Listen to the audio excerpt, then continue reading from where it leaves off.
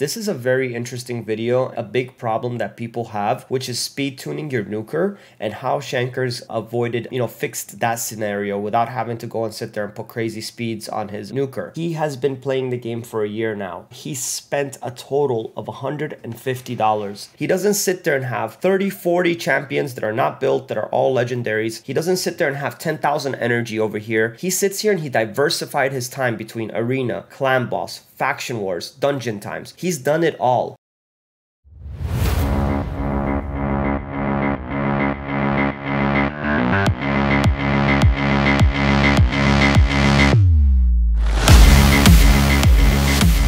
Welcome back, everybody. Thank you for tuning in on another new episode. Today, we will be discussing one of my viewers' account. His name is Shankers. He's been in my Discord for quite a while. He is an absolutely exceptional player. I am here to discuss his achievements, his account, what he's been able to do in the time given that he's been able to do it in. So, to start things off, let me give you a little bit of background on Shankers, okay? Uh, he has been playing the game for a year now. Um, this is his first gacha game He spent a total of $150 in this game since he basically first started playing the game. Which to me, $150 in 12 months of playtime is almost classified as a free to play player, to be honest with you. The accomplishments that he's been able to accomplish is absolutely mind blowing. It just really goes back to the basics and the basic fundamentals of how you should play this game to maximize your return on investment on it. So let's get into the details because this is a very interesting video and I do want to highlight highlight a big problem that people have, which is speed tuning your nuker and how Shankers avoided, you know, fixed that scenario without having to go and sit there and put crazy speeds on his nuker. So we're gonna go into that detail. We're gonna go into quite a few details here, what he's been able to accomplish, how his Great Hall looks, which to me, for somebody that spent $150 in one year, this is a great looking Great Hall. One thing that Shankers has done is instead of taking almost every single area all the way to 10 to moving on to the next, he's kind of shown love to the entire entire Great Hall. Me personally, my opinion on this is it goes back to what Murder said in one of his videos. Everybody always tells you to focus on accuracy, focus on accuracy. But here's the thing accuracy starts becoming an issue later on down the road. You know, when you have Skull Crusher and he's trying to do his counter attack inside of the clan boss and you're trying to put as little accuracy as possible on him and you have 10 out of a 10 accuracy in force, guess what? He's gonna land a debuff that you don't want him to land. So it's little things like that, like my Trund Trunda, I wish I could remove my accuracy off of my Trunda and have this at 0 out of 10. So this way I can land her double hits as many times as possible. So for the most part, if you're not really crazy about tuning and getting the most out of each and every champion, overall there's a more of a benefit to increasing your accuracy than it is not being a benefit. But just wanted to kind of highlight those different scenarios where accuracy can actually become an issue. So with that in mind, crit damage will be my very next area that I would work on always. If, I, if I'm not going to max out my accuracy, I would definitely go with crit damage. I would also 100% go with defense right after and then HP and then then I would go to resistance and then I would go to attack. I feel resistance should be the very last one to work on just because I feel like it does not really give you that much value until very much later in the game. So that's about the Great Hall. But overall, for almost a free to play player at 175 level Great Hall is absolutely fantastic. This is great work here. Now, to discuss his dungeon times. They may not be like this all the time, but I'm just not going to go and make this a 25 30 minute video. But a two minute time in Fire Knight is very, very, very good good. Um, just to show you guys what he's using, this is the team that he's using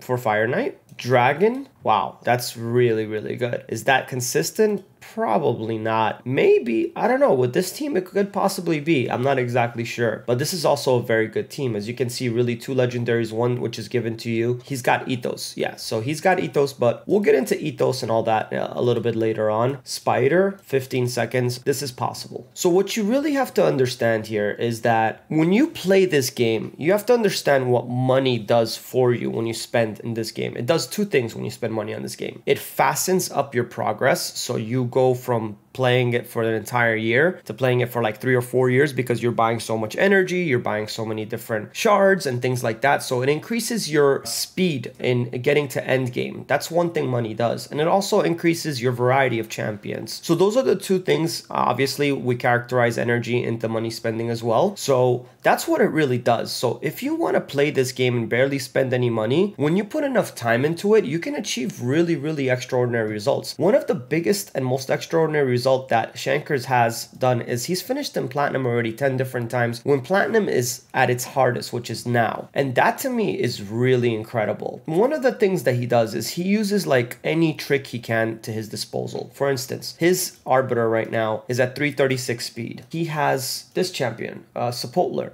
he uses this helmet when he pushes at the last day of reset. He puts this helmet on his Arbiter, and that increases her speed to over 340. So he has the 340 Arbiter speed lead. He uses his Angar is like incredible for the simple fact that his Ethos is not speed tuned. As you can see, his Ethos is only 187 speed. So there's no way that Arbiter's 340 speed is going to speed tune with his Ethos. And his Ethos is, by the way, is an immunity gear. So is his Angar, and so is his Madame. So here's how he plays this team. Arbiter boosts no matter what. If there's going to be a Tormin in there, they're not going to freeze Angar, they're not going to freeze Ethos, and they're not going to freeze Madame. So no matter what, they got boosted, and now they're ready to go next. Angar's going to go next. He has 395 accuracy. He's going to provoke the entire team. He doesn't even have his provoke maxed out all the way to 3 turn cooldown, which doesn't really matter for Arena because you want to kind of get rid of them as quickly as possible. So he has his Angar go, then his Madame goes and strips with an incredible 464 accuracy in immunity gear. I mean, this just goes to show you that if you don't go to sleep every night full of energy, if you don't sit there and have a thousand energy and not touch it at all, and if you utilize it 24 7, the kind of accomplishment you can really accomplish in this game. You know, he told me he spends a lot of his money on the battle pass was $25, a couple of energy packs here and there. Nothing crazy. Here are the screenshots right here so you can see that he finished 10 different times in platinum. I would never come here, guys, and blow smoke and feed you guys lies. Uh, the purpose of this video is to show you guys the possibilities of what can really happen if you're just determined and you're patient if you don't want to spend money because this is a year's worth of progress. So due to Angar being in here, that eliminates his ethos having to be 250 speed or 260 speed to go next. So he can focus more on crit damage and crit rate and attack. And his ethos, the way it's built, he's gonna nuke. This is a very, very well played account and a very smart player. And to top it all off, this is his first gacha game. It just goes to show you that any of you guys can actually do this. Now let's talk about his faction wars. We have a 54 star 57 star, 60 star, 46, 39, 63, 60, 22, 39. There's about four chances of getting six star speed glyphs on a weekly basis. That is incredible. Obviously, he needs to work on his skinwalkers, he needs to work on his demon spawn. This is the only area that I feel like he really needs to work on, and his dwarf and his barbarian. Once he gets those areas over there, these factions much higher, his his progression is going to be significantly increased because when you don't spend that much money or, or no money whatsoever on the game, it's hard for you to keep leveling champs, being able to dominate in each and every single faction because if you see in one year's years worth of progress, how many 60s does he have? He has basically two rows of 60 champions. It's just quite mind blowing at how much he's been able to do without really spending any money whatsoever. And here's his vault, which he has Vizier, which is awesome. I hope he uses him for clan boss. Let's actually see how he does in clan boss. I believe he told me he does 33 million a key. Look at that. He's almost in the two key category. He's not even using Vizier, and he's almost at a two key category right here. This is incredible. Take advantage of Ultra Nightmare Clan Boss. Get your team up and running as quickly as possible to be able to hit Ultra Nightmare Clan Boss. They do give you the very, very best rewards in the game. So make sure you don't slip on your Ultra Nightmare Clan Boss. But most importantly, what I wanted to get out of this is that this man right here, Shankers, plays this game in a very balanced way. He doesn't sit there and have 30, 40 champions that are not built, that are all legendary legendaries. He doesn't sit there and have 10,000 energy over here. He sits here and he diversified his time between arena, clan boss, faction wars, dungeon times. He's done it all, little by little by little, in each and every single faction. This is exactly how you're gonna progress the most. Don't focus just on arena, don't focus just on clan boss, focus on the entire game altogether, and you're gonna progress so much faster than you'll ever know. I wanted to showcase this account, I wanted to give Shankers major props for his progression and show everybody here that with $150 total spent and a year playing this game, the possibilities are endless. And yes, you can finish in platinum consistently with spending such a low amount of money like this. I hope you guys got some great tips out of this video. I didn't want to make it too long. However, I did also want to give a huge shout out to Shankers and to Rat Nest Cluster. They have a total of 16 different clans and their first and main clan are looking for Ultra Nightmare clan boss hitters. So if you guys are interested, I will link his Discord down below inside the description. So that way you guys can go and check them out. They're a great group of clans. They're in my Discord. They're awesome people. So that's what you want because you guys want to surround yourself with a community that's going to help you. Shankers told me that Rat Nest Cluster definitely helped him increase his overall uh, knowledge in the game and gave him a lot of tips. And I, I can't stress that more than ever to all of you. If you're in a clan that you really, really like because they're full of your real life friends or whatever your personal reason may be, my Discord's going to be down below. Shankers is very, very active inside my Discord. So hit him up with any questions you may have. He knows exactly how to get the most out of the game with spending almost nothing. This goes to show you that there are possibilities out there if you just open up your mind and give yourself a little time and patience. Patience is everything in this game. And this is a perfect example of somebody who has patience. Before I finish this, let me just show you a little proof